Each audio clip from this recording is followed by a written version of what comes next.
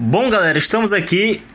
Acabou que o tempo do, do nosso podcast estourou e eu não percebi, cara. E o papo aqui tá tão bom, né, Ricardo? Que a gente acaba levando, levando. Então vamos concluir aqui para não ficar essa parada abrupta aí. A gente vai concluir aqui, falar alguns minutinhos com vocês. E estamos a falar sobre o Estado secularizado.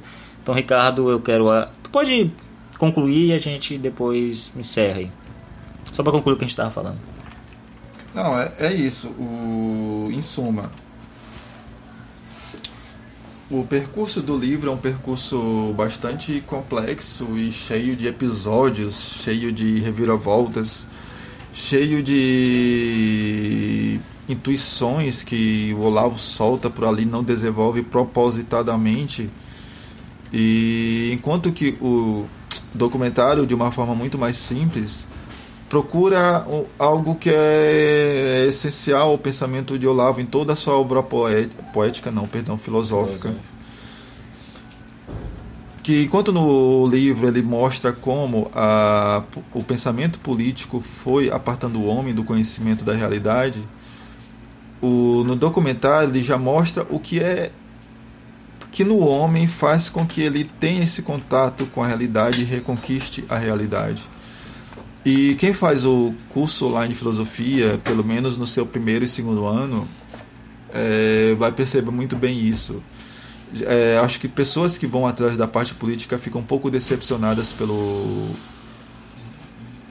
seminário por causa disso, que o Olavo se atém mais a questões existenciais, mas são essas as questões mais importantes, são as questões fundamentais, é, é são a, a, aquilo que sem isso no homem, você não produz uma arte digna, você não é um agente político que realmente lute pelo bem do ser humano e você não é realmente uma pessoa religiosa ou mística ou ética que está realmente interessado em buscar o agrado de Deus e não o agrado dos homens. Então, é, como tu saiu da sala do cinema, cara? Tu falaste lá no teu artigo, né, que tudo aquilo criou um contraste com a, as ruas do Reviver, as ruas... Tá acontecendo algo bastante... E, e eu estive em São Paulo durante um, alguns meses no ano passado, ano retrasado e ano passado, e eu tive que voltar. E eu fiquei lá justamente na época onde houve essa explosão do feminismo, hum. onde houve a, a explosão de uma certa cultura pós-moderna é, lá em São Paulo. E, e, a gente tem esse problema sério de exportar tudo que não presta de São Paulo. A gente não percebe aquilo que de rico tem na cultura nordestina, como eu falei no começo do programa, que a cultura nordestina traz no seu imo, na sua essência, aquilo que nas culturas tradicionais existiam e que permitiam com que o homem vivesse em contato com a realidade, a gente vai atrás daquilo que em São Paulo aparta o homem da realidade. E isso foi absorvido pela agora pela juventude daqui da UFMA, daqui do Reviver. É, o pessoal totalmente falando aquela língua de pau, é, lacrou, é, tombou, é, pisa menos, que é uma língua que existe para justamente para as pessoas não terem contato com a sua própria alma, com a própria realidade.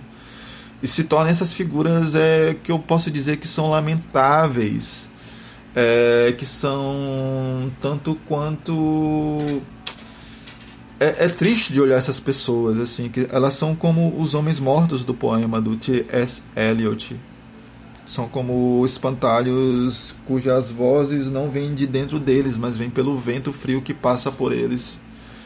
E esse vento frio é o vento das ideologias.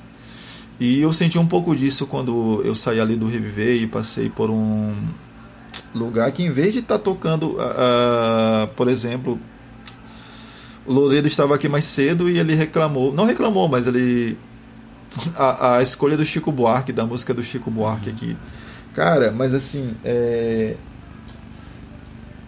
saudade do tempo que a esquerda escutava o Chico Buarque, que era uma música com uma certa harmonia, com uma certa melodia trabalhada, com um grande apuro da letra, porque o que eles estão escutando hoje, gente, Carol Conká, é, Johnny Hooker, é, Lineker, é, MC Carol, é triste, viu?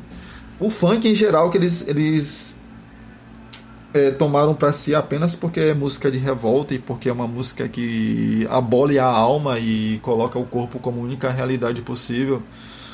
Eu vi um pouco disso enquanto eu ia daquele espaço entre o Cine Praia Grande e um bar em que eu e alguns amigos foram discutir a, o documentário e ficou aquele choque.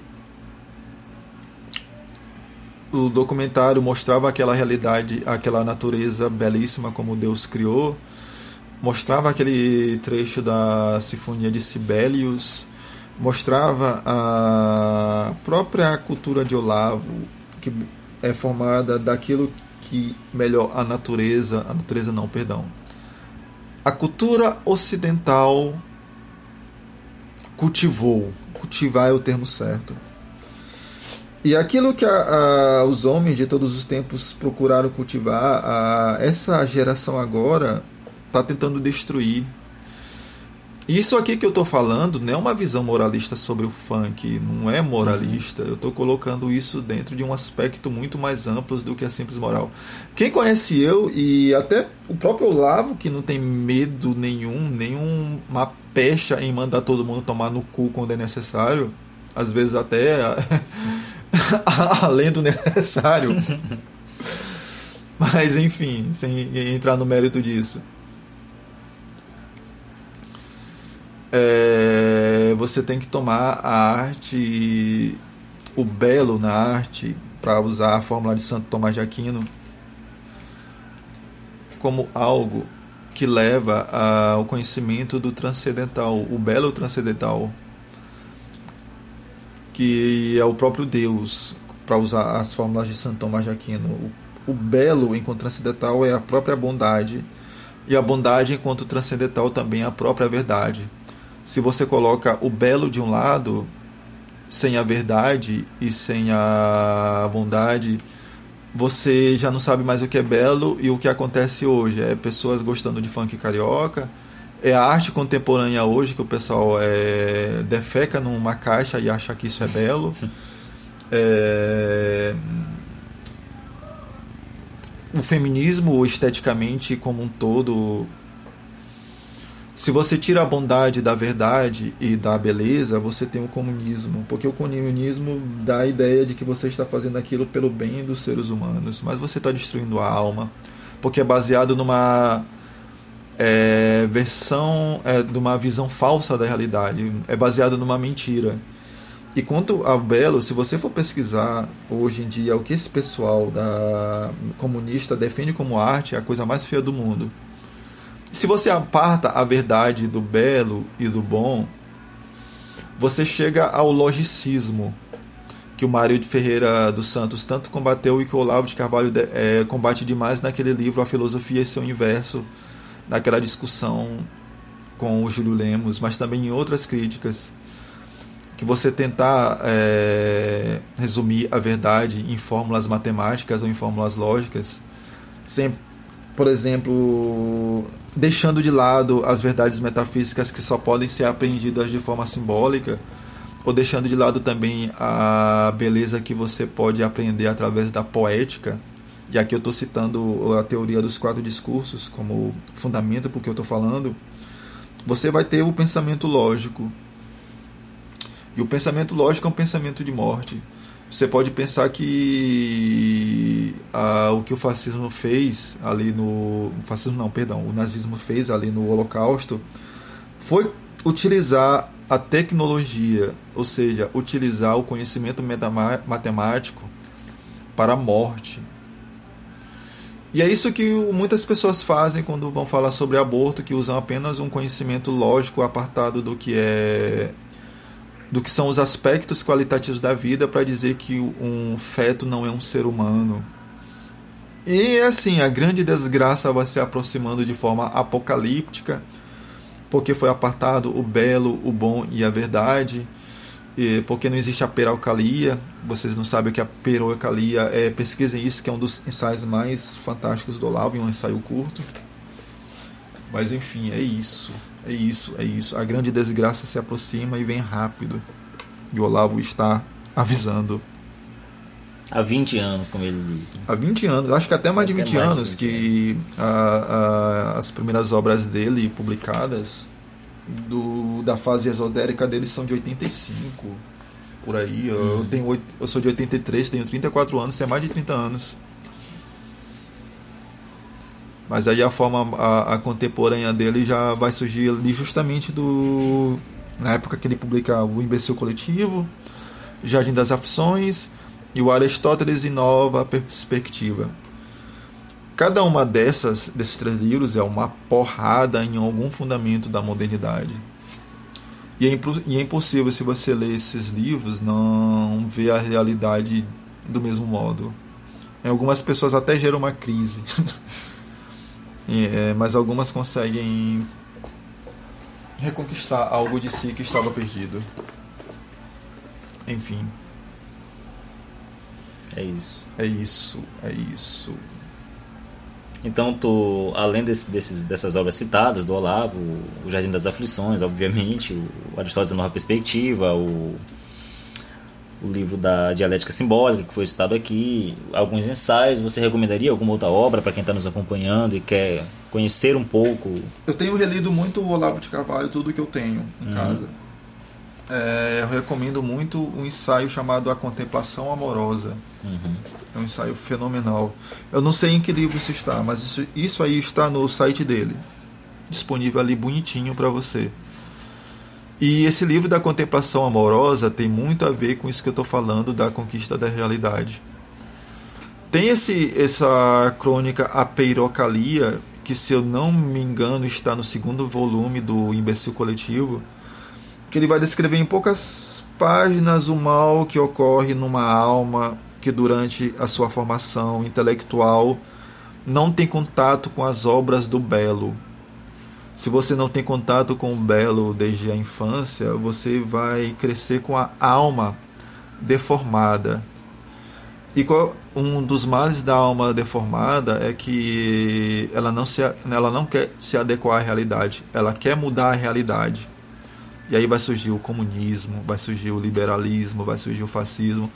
Vão surgir todos esses ismos é, no século XX que tentaram remodelar o ser humano segundo aquilo que aquele intelectual achava que era o ideal para o homem chegar à sua felicidade.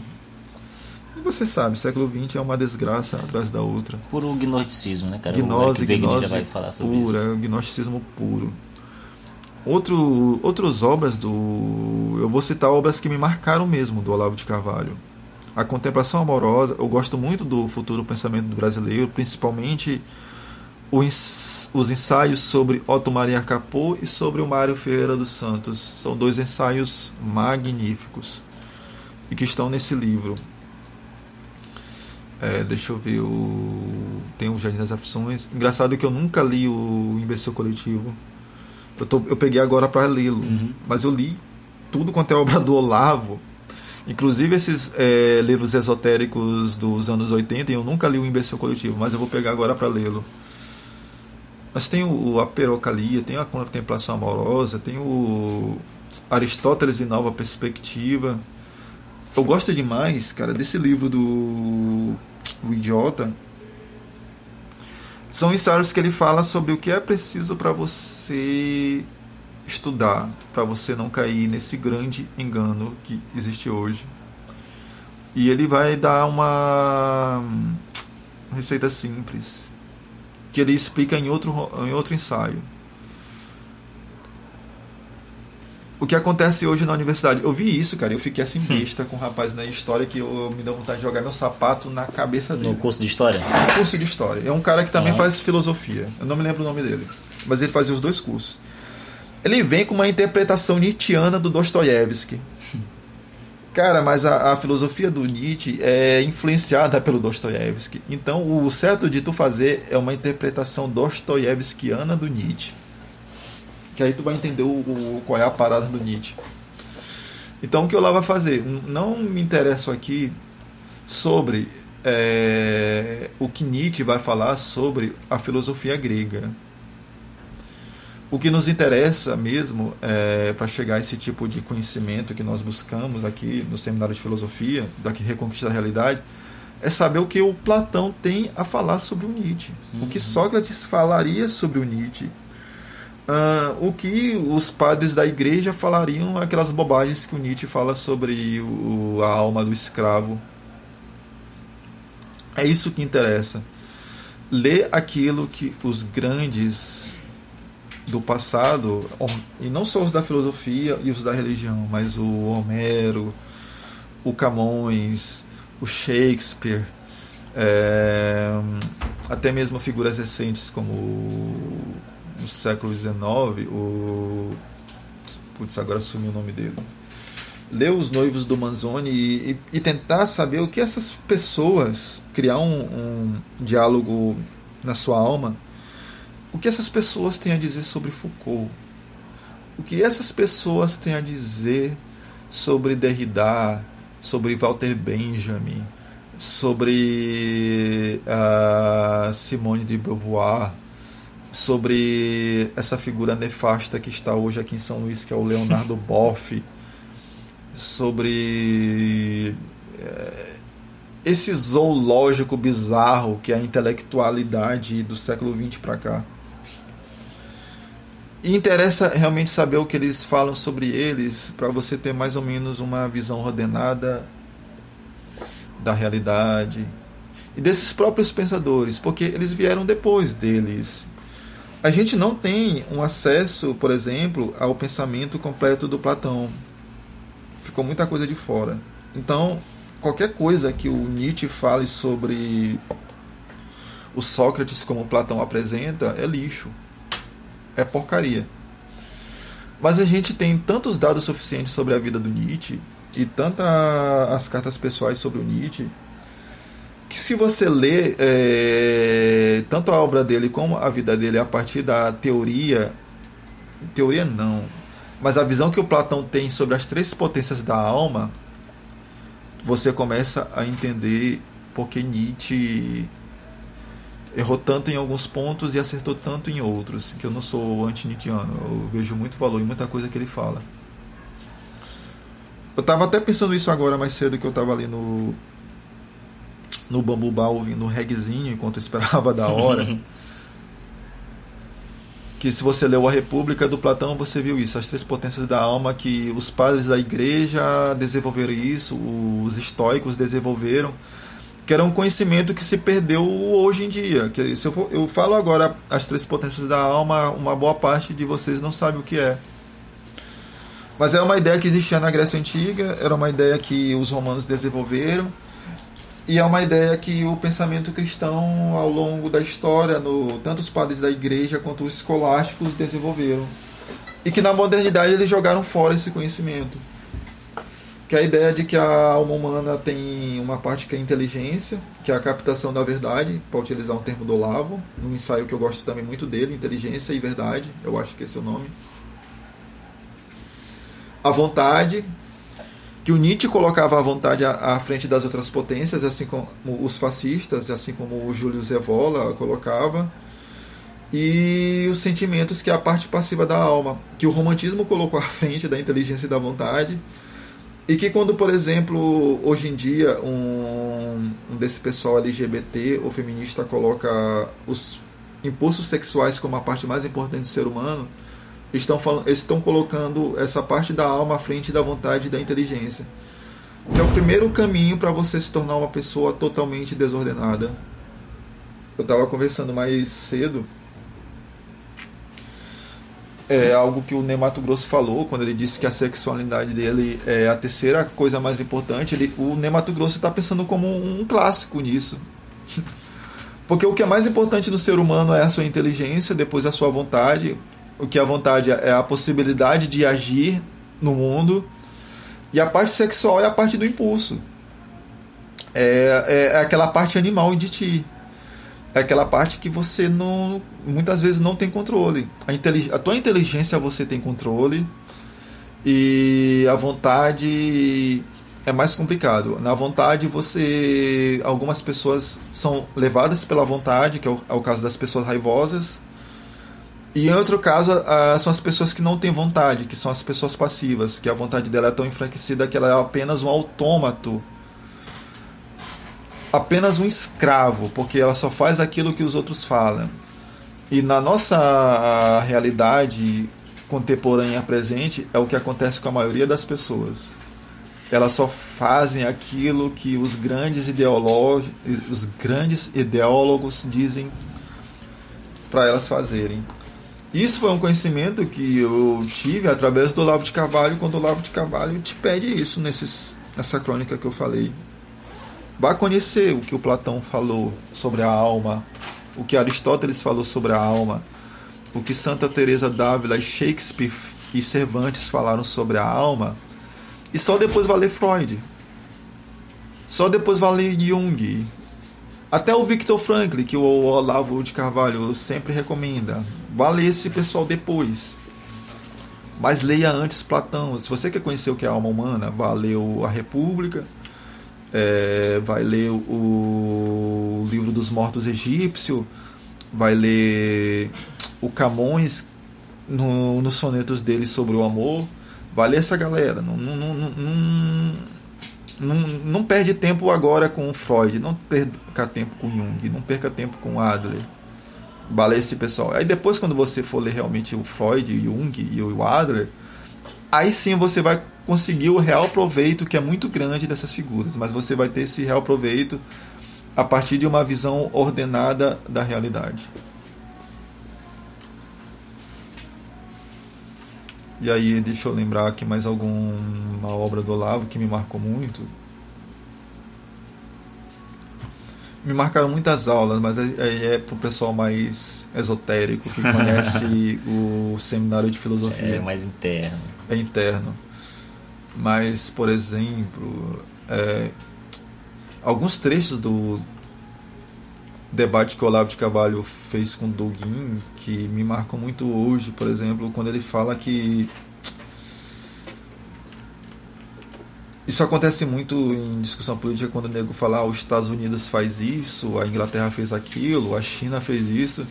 Só que os Estados Unidos, a China e a Inglaterra, o Brasil ou qualquer país são apenas abstrações em termos do em, torno do termo nação elas não agem. O que age é o ser humano ou uma instituição humana. E quais são as instituições humanas que você pode entender como agente histórico? A Igreja Católica, a maçonaria, é, a Internacional Comunista. É, você pode pensar em certas famílias, como por exemplo os Habsburgo, que é a família real que dominou grande parte da Europa durante muito tempo, é que você consegue encontrar uma. Se não existe uma unidade de ação nessa família, você consegue encontrar pelo menos uma coerência de ação, que é o caso que, por exemplo, não acontece nos países.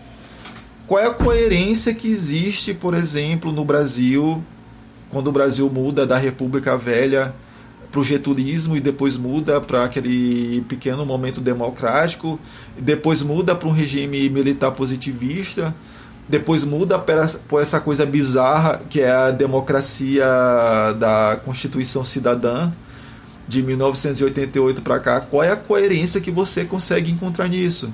Nenhuma, nenhuma. Você só vai encontrar loucura e caos. Mas você consegue encontrar, é, por exemplo, uma coerência dentro do. Vou dar um exemplo que eu sou católico e eu estudo isso, a Igreja Católica. É, você pode, por exemplo, ficar um pouco assustado em relação ao Concílio Vaticano II, que vai mudar muitas coisas. Mas se você acompanha, por exemplo, toda a linha de discussão da Igreja Católica no final do século XIX, século XX, você vê que aquilo faz sentido. Por quê? Porque existe uma instituição que ao longo do tempo segue algumas premissas fundamentais, o que não ocorre no país. o país é, é uma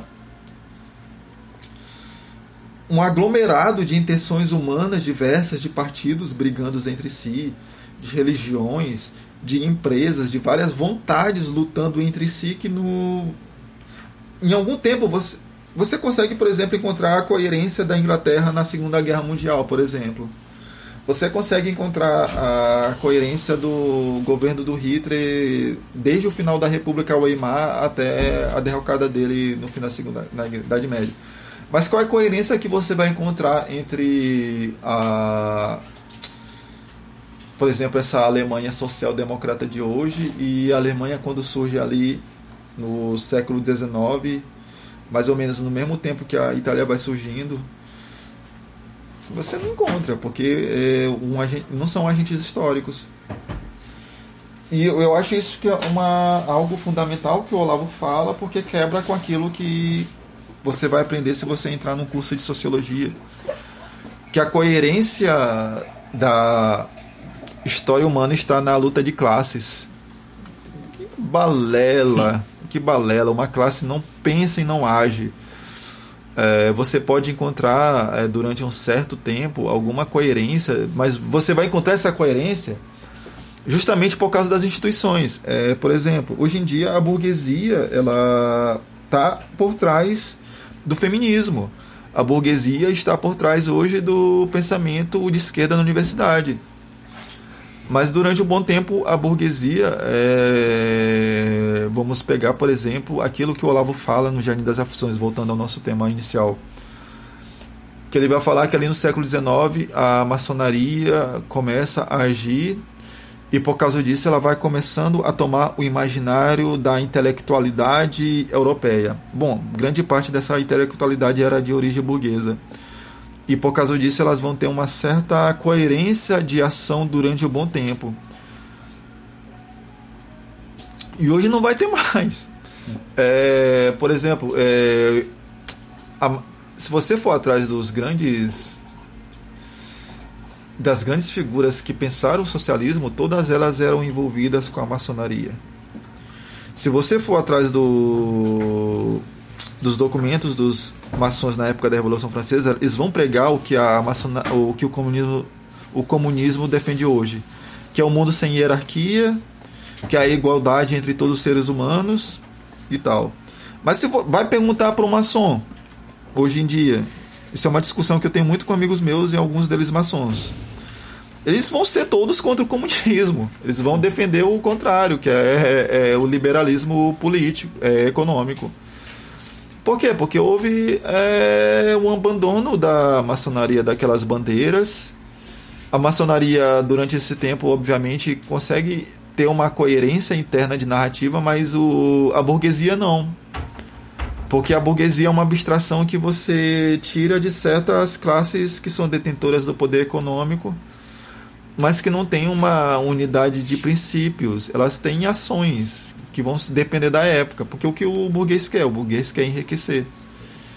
Se o burguês, é, há 20 anos atrás, 30, vamos dizer assim, há 40 anos atrás, procurava enriquecer defendendo ideias reacionárias, é, por exemplo, aquela coisa do American Way of Life que aparecia nos produtos é, de propaganda, Hoje em dia tu vê o que? A Boticário defendendo a agenda gay. É, você vê várias dessas grandes marcas, desses grandes conglomerados. Você vê hoje a Rede Globo todo dia de manhã na Fátima Bernardes defendendo algo da agenda da ONU.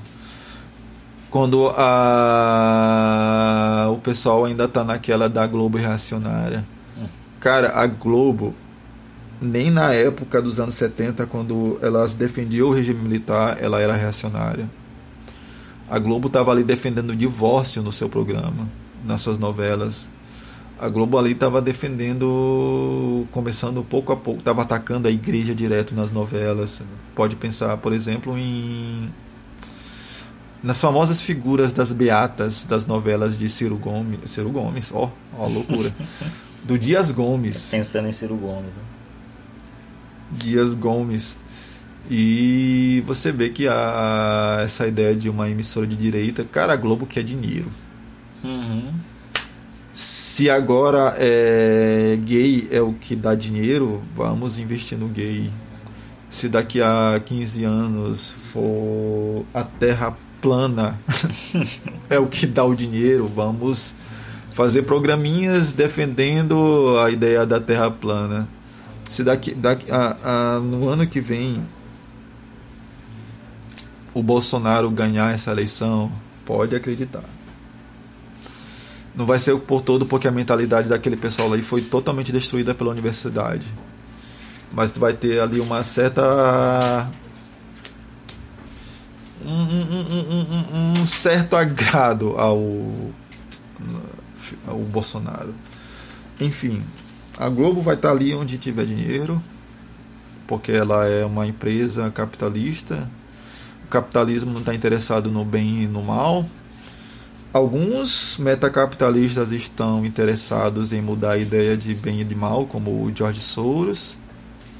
Mas o capitalismo em si é uma abstração que não tem nada a ver com o bem e com o mal. O modo como os homens trabalham o capitalismo é o contrário do comunismo.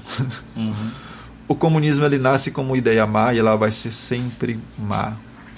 É o que eu falo assim é, se, o, é, se o liberalismo mata as almas, se o fascismo mata os corpos, o comunismo ele vai matar os corpos e as almas.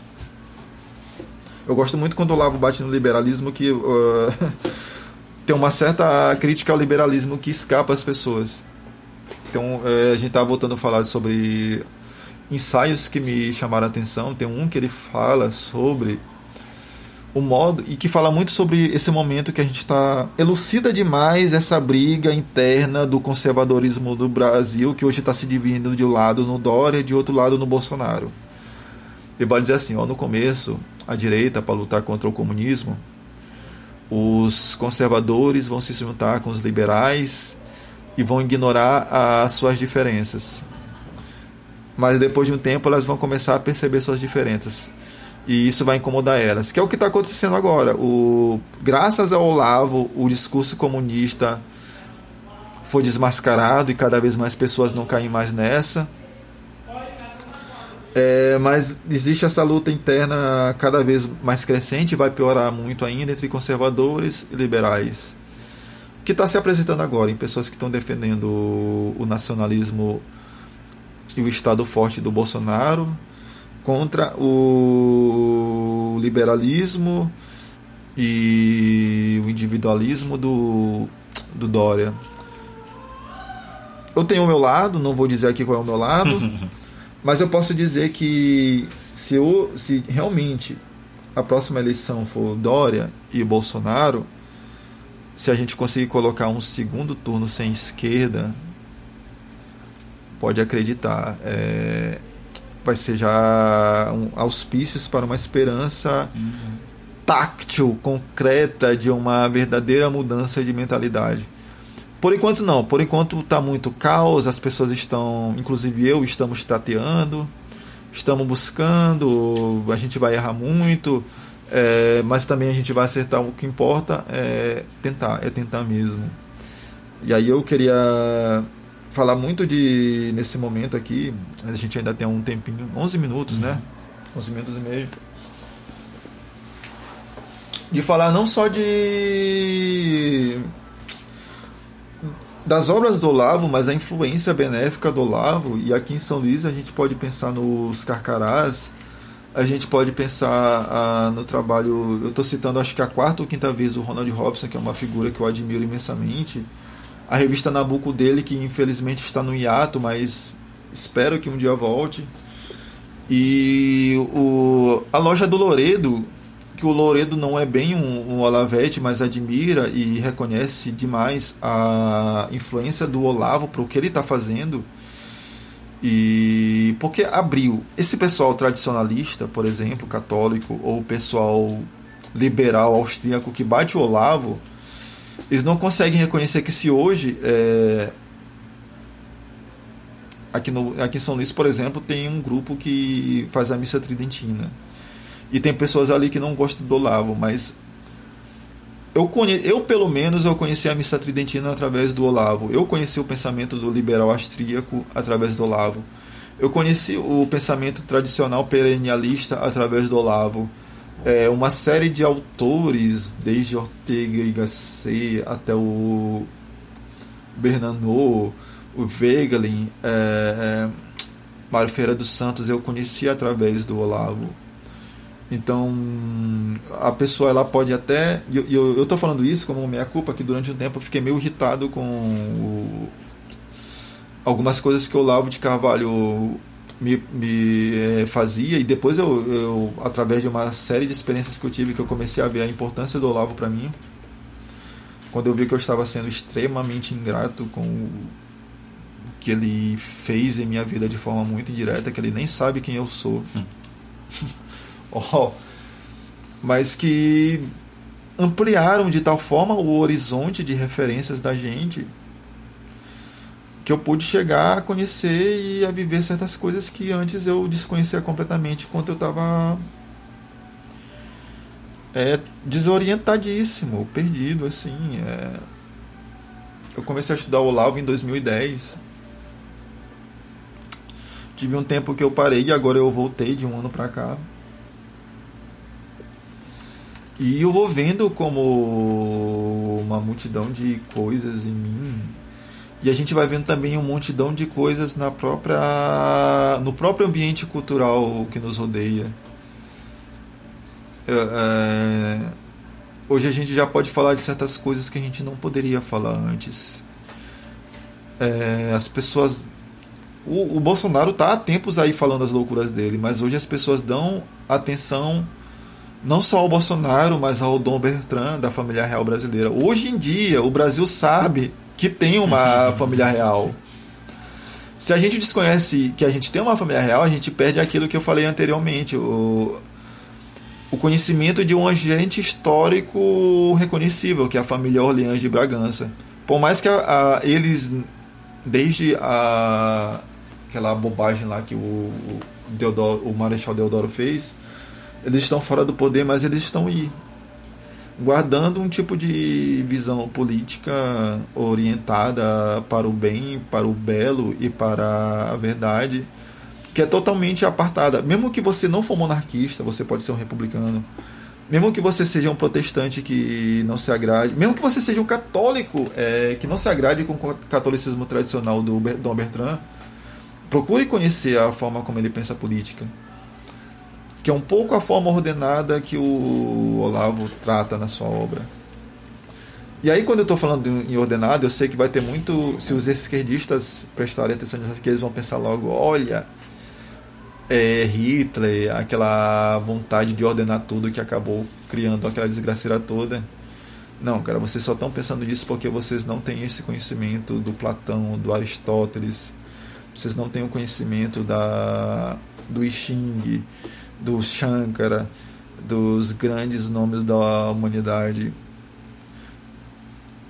Que a ideia de ordem ela, é, ela é muito mais além do que isso que vocês estão pensando de algo imposto contra o desejo de liberdade do homem. Não, a liberdade do homem só é possível é, se a sua alma está ordenada para um fundamento divino. Eu estou falando isso a partir de Wegelin. Se a tua alma não está ordenada é, em relação a um fundamento divino, sua alma é escrava é, dos grandes poderes do mundo. Quais são os grandes poderes do mundo? O Estado, as ideologias, é, o capitalismo naquilo que ele tem de mais nefasto, as grandes narrativas políticas que vão procurar mexer na tua alma desordenada e vai te transformar um zumbi e você vai ser é, tipo esses feministas da vida aí que quando abre a boca não fala nada que tem lastro de realidade, é apenas aparato verbal, é, espuma sobre nada. É isso. Simplesmente. Pois é, cara. Coisa tá feia e vamos voltar à realidade, né? Vamos voltar à realidade. Vamos voltar à realidade. Bom, galera, conversei aqui com Ricardo de Carvalho, professor de História, um, como vocês puderam ver, um estudioso e tanto, tem uma bagagem aí invejável literária. e nós falamos sobre o Jardim das Aflições e a reconquista da realidade. Para mais informações, se você queira conhecer o pensamento filosófico do professor Olavo de Carvalho, eu recomendo muitíssimo que você se inscreva no COF, que é o curso online de filosofia, e lá você vai. Cara, é impossível entrar e sair do COF a mesma pessoa. É impossível. Converse com qualquer aluno do Olavo que está há 2, 3, 4, 5 anos estudando o professor Olavo de Carvalho, que você verá isso. É impossível você entrar no COF e sair de lá com a mesma visão é, o primeiro ano do cofre é todo para isso, para o enriquecimento do imaginário. Né? É todo sobre literatura. E como que a literatura enriquece o seu imaginário, você começa a ver, a sentir a realidade como você não fazia antes. A conhecer a sua própria voz, né? A calar um pouco é, é a tagarelice do mundo e ficar um pouco em silêncio para ouvir a sua voz, para ouvir Deus e para sentir a realidade. Bom, eu agradeço a todas as 35 pessoas que nos ouviram ao vivo. É um bom número, né, Ricardo? 32? 35 pessoas. 35. E a todas as pessoas que vão ouvir, que vai ficar gravado, né? Vocês podem compartilhar, podem continuar ajudando aí, é, marcando seus amigos. E em especial eu agradeço ao Alexandre Ferreira, que nos ouviu aí até o fim, nosso parceiro aqui de causa. Salve, Alexandre! É, iria estar aqui, né, ao vivo para acompanhar, mas infelizmente o trabalho não deixou, né? Então, Alexandre Ferreira, aquele abraço. O grande amigo aí Luan Morim, ouvindo aí em Brasília. Falou Luan, ouviu aí as duas partes do programa. Abração. Também ao Laércio José aí de João Pessoa, que nos acompanhou ao vivo. Ao Fernando Henrique, aqui de São Luís. A Keline Costa, de São Bernardo. É, o Tiago Araújo, aqui de São Luís também. E a Flávia Carvalho Jadson Carvalho, lá em Central do Maranhão, nos ouviram ao vivo. Então, abração, galera. E é isso aí. Mandem pra frente, compartilhem seus grupos. Eu curti muito a conversa aqui com o Ricardo, cara. Aprendi bastante. E vamos continuar conversando, tomando aquela cervejinha agora, né, cara? Só que não vai estar tá gravado. ainda, eu nem sei que oração aqui. Eu, eu tinha lido 10 horas. Não, 9h20, 9h20. Dá pra tomar uma lá. Então é isso aí, galera. Esse foi mais um podcast Carcarás. Eu sou o Micael Amorim. Curtam a nossa página, sigam aí o blog do Ricardo. O link dele vai estar tá aqui embaixo nos comentários de, desse programa. Sigam aí o blog dos Carcarás também, acompanhem o nosso canal no YouTube para não perder mais programações. Abração e até a próxima.